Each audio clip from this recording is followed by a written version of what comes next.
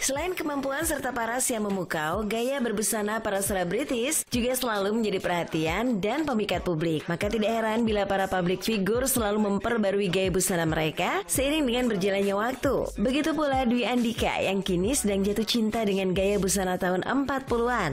Oke, yang jelas gue tuh lagi suka banget sama 40s 40 gitu, kayak back to 40s gitu.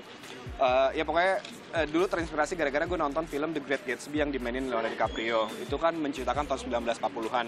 Jadi di mana gayanya tuh pada saat itu adalah celana ditaruh di atas udel, ditaruh udel, terus celana cubit. Ini apa sih? Kupnap ini. Terus uh, pakai rompi, terus pakai baju simpel aja warna hitam karena gue suka banget sama kaos hitam terus ya sepatu yang ngedukung ngedukung ke atasannya gitu jadi intinya sih eh, rambut rambut agak semuanya diponin ini kayak kayak apa ya kayak militer militer zaman dulu di Korea terus juga oh ini sama kacamata bulat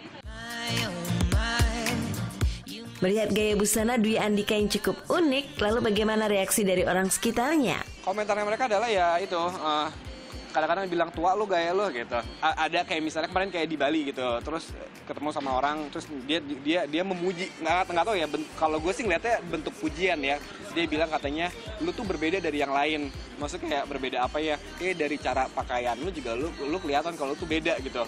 Ya udah gue ngambil positifnya adalah oh mungkin karena oh mungkin mungkin dari penampilannya kali berbeda.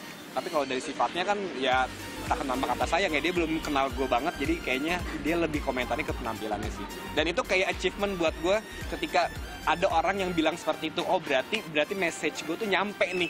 Apa yang gue pengen gaya 40-an itu ternyata terrealisasikan. Susahnya. Jika Dwi Andika lebih menyukai gaya busana vintage, lain halnya dengan Titi Kamal yang suka dengan fashion modern, namun tanpa meninggalkan unsur budaya Indonesia. Cinderella Indonesia kali ya rasanya. Soalnya kayak apa ya kayak ada sentuhan aristokratnya juga tapi Indonesia juga. Kayak seru deh mixnya gitu. kalau ini tenun lombok gitu dipadukan dengan uh, style yang ala modern kekinian gitu. Jadi hmm, seneng sih sama padu padannya dari mulai head to toe aku suka banget. Dari mulai styling rambutnya bajunya semuanya aku suka banget cinta. Manis sekali sikapnya